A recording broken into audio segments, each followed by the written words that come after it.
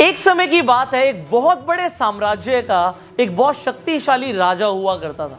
पर उस राजा की एक बहुत बुरी बात थी। वो बुरी बात ये थी कि अगर उस राजा के शासन में किसी भी व्यक्ति से कोई गलती हो जाती थी तो सजा सिर्फ़ एक ही होती थी कि उस राजा के पास दस जंगली कुत्ते थे।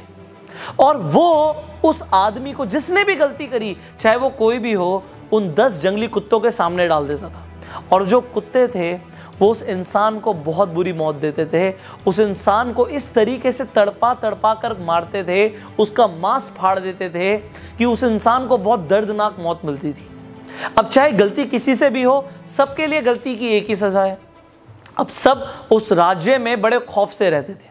अब होता क्या है, एक बार उस राज्य के महामंत्री से एक भूल हो जाती है, एक गलती हो जाती है। और वो गलती होती है हिसाब के अंदर।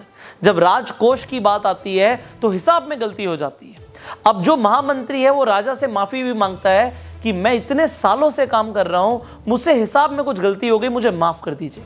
पर राजा बोलता है कि आपको तो पता ही है महामंत्री, हमारे यहाँ गलती की सिर्फ़ एक ही सज़ा है, और वो सज़ा आपको भी मिलेगी, आप कुछ अलग नहीं है। अगर मैंने आपको छोड़ दिया तो प्रजा के ऊपर बहुत गलत मैसेज जाएगा, मैं आपको नहीं छोड़ सकता।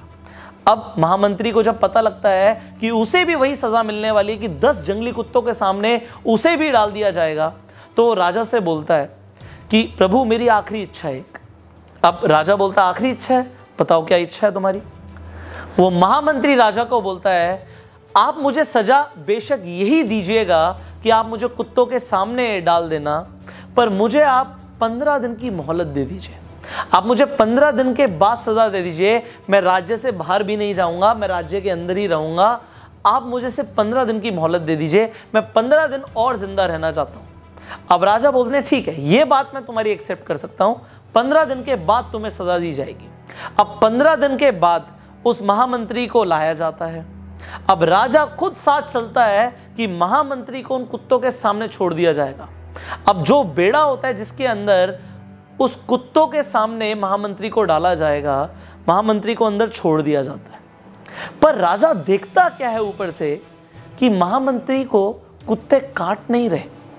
महामंत्री के ऊपर कुत्ते भौंक नहीं रहे, बल्कि उसे चाट रहे हैं, उसे प्यार कर रहे हैं।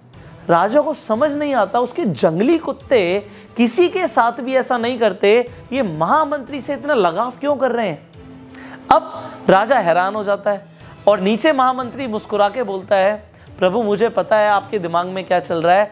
आप मुझे ऊपर बुलाएँ तो मैं आपको बताऊँ कि क्या हुआ। अब राजा बोलता है, आओ ऊपर आओ वापस आओ। अब उसे दोबारा से सभा में बुलाता है और राजा के सामने महामंत्री आके खड़ा हो जाता है। अब बोलता है, प्रभु, मैं आपको बताना चाहूँगा कि जो आपने मुझे पंद्रह दिन की मोहलत दी थी, उन पंद्रह दिनों में मैंने इन कुत्तों की बहुत सेवा करी। इनके साथ एक रिलेशन बनाया इनको नहलाया, इनको खाना खिलाया, इनके साथ में रहा, इनको खिलाया मैंने। और इनके साथ खेलते कूदते हुए हमारी दोस्ती हो गई। अब ये कुत्ते मुझे नुकसान नहीं पहुंचाएँगे, ये मुझसे आप प्यार करते हैं, मुझसे प्रेम करते हैं। राजा कहता है, पर मेरे वचन का क्या होगा? महामंत्री बोलता है, आपका वचन था कि कुत्तों के सामने आप डालेंगे, बट आपने मुझे कुत्तों के सामने डाला, उन्होंने कुछ किया नहीं, वो एक अलग बात है।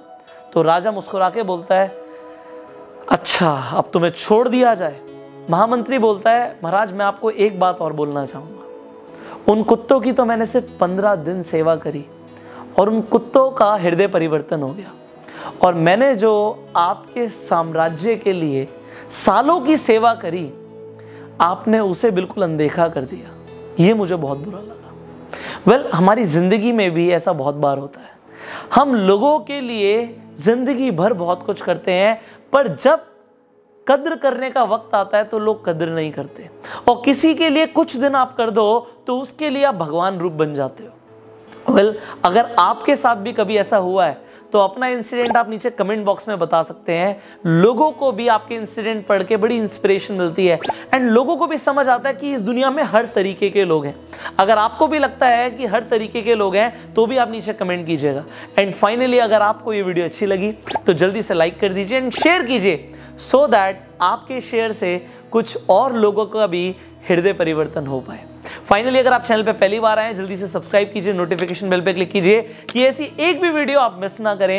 एंड मैं आपको बताना चाहूँगा अगर आप अपनी कम्युनिकेशन स्किल्स को पॉलिश करना चाहते हैं अपनी पर्सनालिटी को ट्रांसफॉर्म करना चाहते हैं तो there is a training course जिसका नाम है एडवांस पर्सनालिटी डेवलपमेंट ये ट्रेनिंग कोर्स आप ज्वाइन कर सकते हैं। ये ट्रेनिंग कोर्स ज्वाइन करने के लिए आपको स्क्रीन पर जो नंबर आ रहा है इस नंबर पर कॉल करना है और हमारे काउंसलर से बात करनी है। वेल well, फ़िलहाल मैं आपको बताना चाहूँगा हमारे ट्रेनिंग कोर्स के ऊपर हमने आपके लिए एक स्कॉलरशिप ऑफ़र भी लॉन्च किया है एंड खासकर स्टूडेंट्स के लिए। तो अगर आप एक स्टूडेंट हैं तो आप हमारे काउंसलर से बात कीजिए उन्हें अपनी डिटेल्स दीजिए एंड अगर आप एलिजिबल होंगे स्कॉलरशिप के लिए तो आपको इस ट्रेनिंग कोर्स पे बहुत ज़बरदस्त ऑफ़र मिलने वाला है। So finally I will see you in the training course now till the time you share this video and go self made